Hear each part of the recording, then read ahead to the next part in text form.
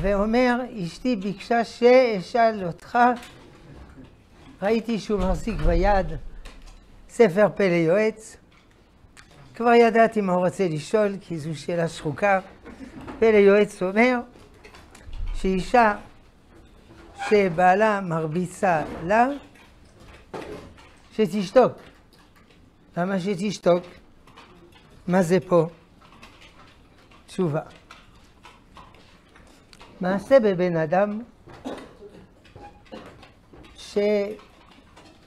שמבבל, התחתן עם אישה מארץ ישראל, והוא ביקש ממנה שתקנה בוצינה, אבטיחים. אבל בוצינה בארמית, בארמית ירושלמי, זה נרות. הוא רצה אבטיחים והביאה נרות. הוא אמר, מה זה צריך להיות? מה אני אעשה מה זה? תשברי אותם על בבא. בבא זה הדלת. הלכה ושברה אותה על ראשו של בבא בן בוטה. כי לא ידע מה זה בבא הדלת. אמר לה בבא בן בוטה, אפשר לדעת מה זה אומר? בעלי אמר לי. בעלך אמר לך? אישה כשרה עושה רצון בעלה. יהי רצון שלך שני בנים, בנים כמו בבא בן בוטה וכן היה. מה זה צריך להיות? תשובה, אומרים הפוסקים, הבן אדם הזה הוא פסיכי, אבל אשתו רוצה לשמור על מסגרת המשפחה, ולכן היא נכנעת לשטויות של הפסיכי הזה. אבל ודאי שמן הדין אין דבר כזה. מסכת גיטין, בעלה אומר לה, תביא דלי מים ותשפוך אותם פה, תשפכי על הרצפה, תשפוך בעצמך, תביא בעצמך. מה זה שטויות? הוא רוצה מים לדירה, בסדר, אבל לא לשפוך. היא לא חייבת לעשות שטויות. אז למה הזאת עשתה? כדי לשמר על המשפחה. ומעשה ואישה שהלכה לשיעור של רבי מאיר ליל שבת, והגיעה הביתה מאוחר, בעלה כעס עליה, את לא נכנסת הביתה, עד שתרקי לו בפנים של הרב הזה. הלכה לבית המדרש, רבי מאיר כמובן ראה אותה מיד הבין במה מדובר, אמר כואבת לי בעין, מישהו יכול לירוק לי בעין? החברות שלה דחפו אותה, ירקה לו בעין. תודה רבה. כשהיא הלכה, התלמידים, שגם הבינו במה מדובר, שאלו אותו, מה עם כבוד התורה? הוא אמר, ריבונו של עולם, מוחק שמו במים כדי לעשות שלום בין איש לאשתו, אז גם אני. אבל מה, אם היא מבקשת לירוק על תלמידי חכמים, בעיניים, עכשיו היא תירק, עכשיו תלמידי חכמים יתחילו ללכת עם משקפיים עם וישרים, פלוס כובע פלדה בגלל הסיפור הקודם? לא, אותה תשובה. הוא פסיכי, אבל היא מוותרת כדי לא לפרק את המשפחה. הוא עדין בספר פלא יועץ. הוא מרביץ לה, היא בולעת, היא לא חייבת לקבל מכות, אין דין כזה, כתוב בשולחן ערוך שאיש שמכה את אשתו, סוגריים, כמו הגויים, בית דין מכים אותו. זה נימוס אה, מינימלי. צריך לדבר לאדם בשפה שלו. אם זה השפה שלו להרביץ, גם הם מרביצים לו. ודאי שאסור להרביץ. אבל מה נעשה שמרביצים? במדינת ישראל אישה אחת מתוך שבעה אישה מוכה.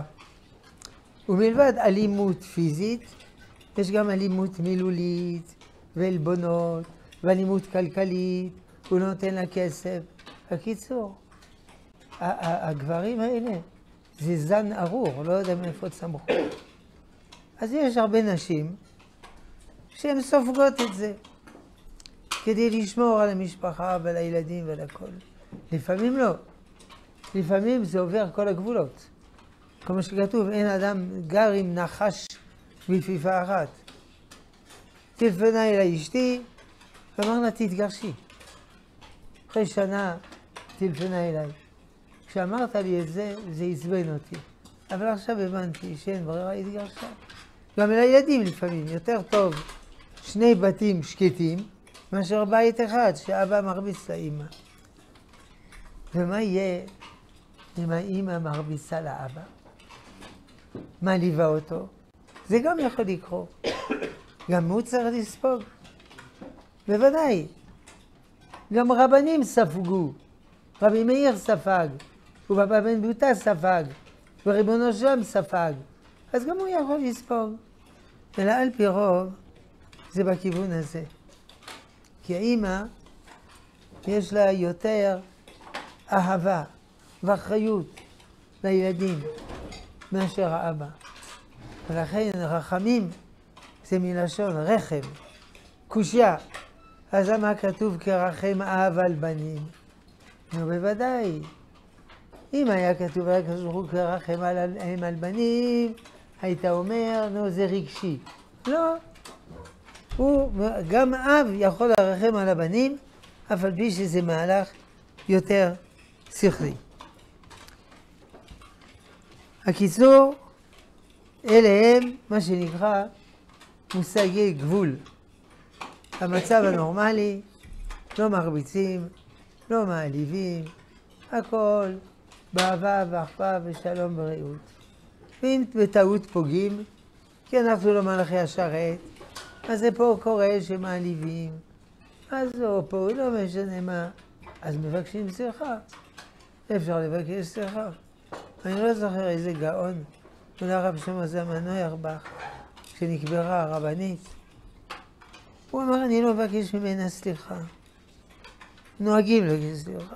אני, לא שלא פגעתי בה אף פעם, אבל תמיד בקשתי סליחה.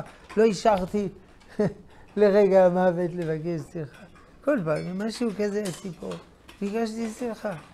אז זה קורה שעושים טעויות. אגב, גם ילד שמעליבים אותו, צריך לבקש סליחה.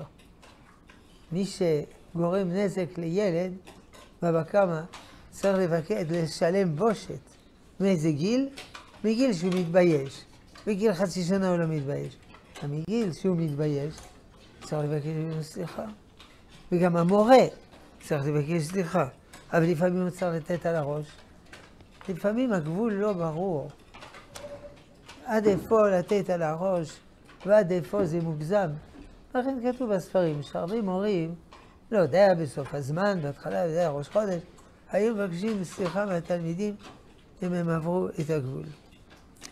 לכן כל הסיפורים האלה, שני סיפורים של חז"ל, פלוס מה שכותב הפלא יועץ, זה מקרה גבול, כדי להציל את המשפחה. אבל לכתחילה, בוודאי, חס וחלילה, לעשות דברים כאלה.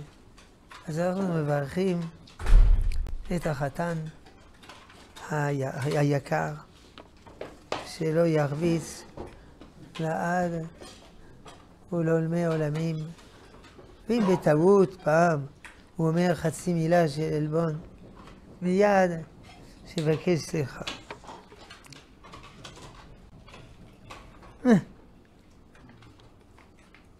חידון קטן אומר, למה קוצרים את העומר? חידה. מזמן לא שאלתי חידות. למה קוצרים את העומר? חינוך, להודות לשם על החסד שיש לנו מה לאכול. חידה, למה לא קוצרים את העומר בפסח עצמו, אלא למחרת? חידה, אין מערבבים שמחה ושמחה. למה קוצרים בלילה ולא ביום ט"ז? כדי שיהיו שלמות הימים, תמימות. למה סופרים את העומר? חינוך, כי העולם נברא בשביל התורה. ולכן יש לנו תשוקה גדולה. אנחנו סופרים את הימים, שני... למה לא מברכים שהחיינו? על כל מצווה שבאה מזמן לזמן. בספירת העומר, כי אנחנו עצובים שאין היום עומר. בספירת העומר, לפי רוב הפוסקים, היא ברבנן. ולכן אומרים, יהי רצון שייבנה בית המקדש מימי ימינו, וזה יהיה מדורייתא. אז זה מדרבנן, לכן אנחנו עצובים. מה הקשר בין העומר לתורה? שבועות. לא, אבל מה הקשר לעומר עצמו? כאילו. אה, למה? לא. העומר זה להודות לשם על החסד הגדול שיש מה לאכול. אבל החסד הכי גדול זה התורה. אתה מדמה בן אדם שעובד במשרד שאין מה לאכול לראש הישיבה שיהיה תורה? אה, מקווה שנעלבת. סליחה. לא, כתוב שמי שעוזר ללמוד תורה, הוא מתחלק בשכר. שאלה אחרונה. האם חייבים... אה, כיוון שזה מדרבנן, בספק מקילים. לא יודע אם ספרתי, לא ספרתי, כן, לא, ממשיכים. או לא יודע אם זה היה יום, לילה, ממשיכים.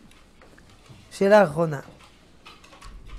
האם חייבים לספור את העומר בעמידה? כן. כמה יש מצוות שצריך לעשות בעמידה? שמונה. הלל,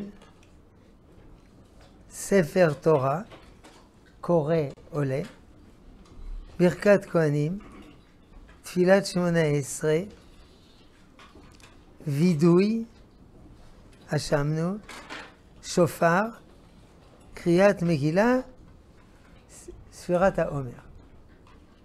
הלל, ספר, כהנים, תפילה, וידוי, שופר, מגילה, עומר. ראשי תיבות?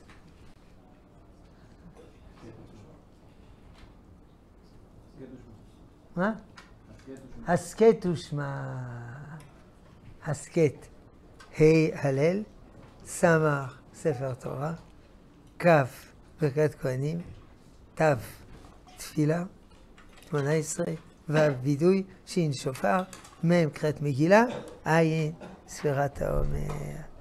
ועכשיו אנחנו נשמע דברים מפי החתן המולל בתשבחות, אל תכה, זה לא יפה.